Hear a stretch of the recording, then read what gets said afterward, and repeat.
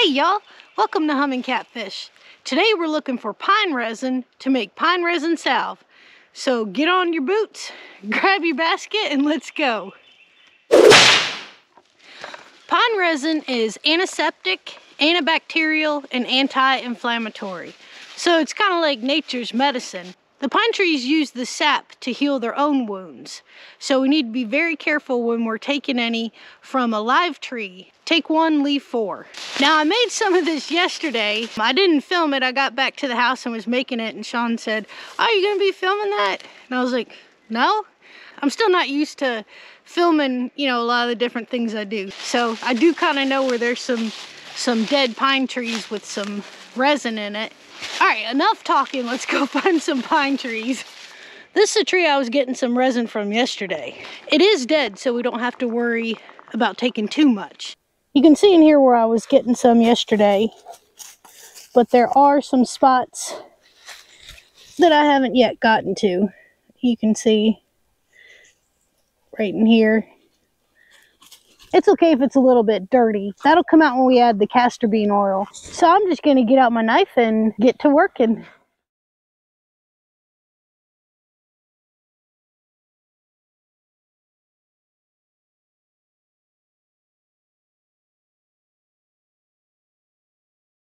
We almost got enough just from this dead pine to make a whole batch. But I really wanted to show y'all how to get the sap from a live tree because uh, you're really only taking a teeny tiny bit if it's a live tree. All right, this old man here looks like he's been through a lot. He does have a lot of pine sap in there.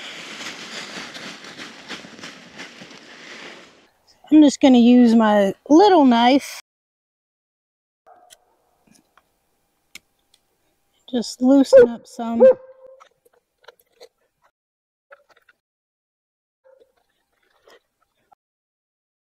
And this part over in here where it's already kind of crusted over, I take a little, little bit from that. All right, we could take more from this guy, but there's no reason to. We got enough from that uh, that fallen pine over there. You know, make sure that you remember that that's the tree sap, and it it made that for its own protection from disease and stuff like that. So it's easy to forget sometimes that you know while you may own land, you're actually just the caretaker. Had some crazy bucks out here.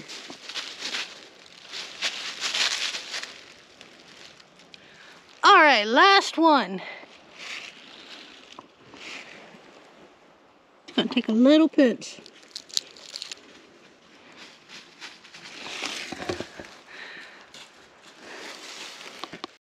I believe we have enough to make about eight ounces of salve. So let's get back to the house and make sure we oil our knives to get the, the sap off before we put them away.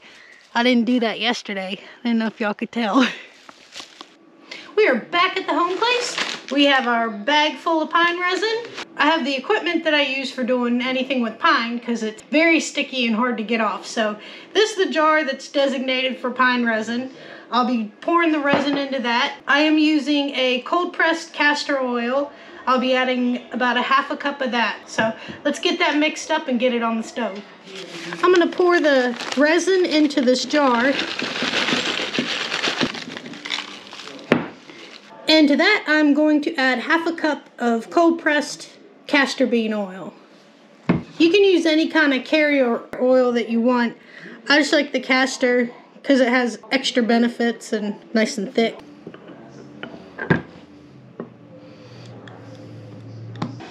About the bark pieces and debris that's in here. After it heats up and melts together, we're gonna be able to strain all of that out. And you'll be left with a nice resin that doesn't have dirt in it, but it's it's a really nice thick resin.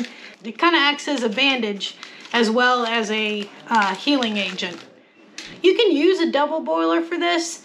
Um, I'm not going to just because the pine resin is so sticky it's almost impossible to get all of it off. Instead what I'm going to be using is an old pot and three canning lid rings. I'll show you how I set that up. So take your pot and then this one fits three rings pretty good. And then this is just gonna set in there on it. We're gonna fill this up with water, not all the way. It's gonna be kind of like a water bath canner. Now, if you were infusing herbs into some oil, you wouldn't want whatever container you have to make contact with the water. You would just want the steam from the water to infuse the herbs. But since we're actually melting resin, I'm not worried about the water touching the jar. What I'm gonna do is bring that to a boil and then turn it down to a simmer. Then I'm gonna be adding our jar of castor bean oil with pine resin and set it in there. Um, this is probably going to take about three, maybe four hours to get everything melted down. You are going to need to add water. It's not a set it and forget it kind of thing. You want to make sure that you keep adding water. Got that on the stove. We're going to let that go and simmer for a couple hours.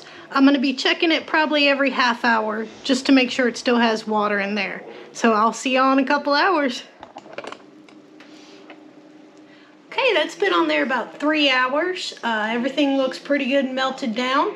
So what I have now is eight ounces of beeswax. First thing we're gonna do is strain the castor oil with the pine resin melted into it, uh, just to get all the all the bark and pieces like that out. I have this loose leaf tea strainer I'm going to put onto this mason jar that I've been using for pine type of things.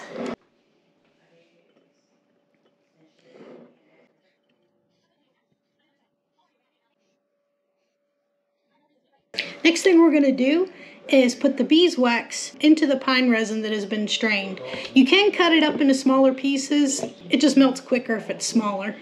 We're going to return this over into the pan and just let that go until the beeswax melts.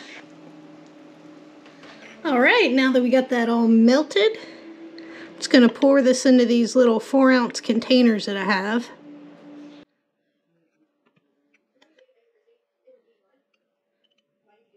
Ooh, got that one pretty full. And then whatever is left, I will pour into this that we're gonna use first. Now here's the ones I did from yesterday. I just mark them with uh, what it is, the date, and then on the back side I just write what's in it. Pine resin, castor oil, and beeswax. But you can see once it's dried, it's a nice, nice thick salve. I really think you're gonna like this. Uh, if you've ever read up on things like neosporin, it, there's actually studies that show it's not any more helpful than just letting your skin go. But to me, something that the trees use themselves for protection, I think could do us some good too.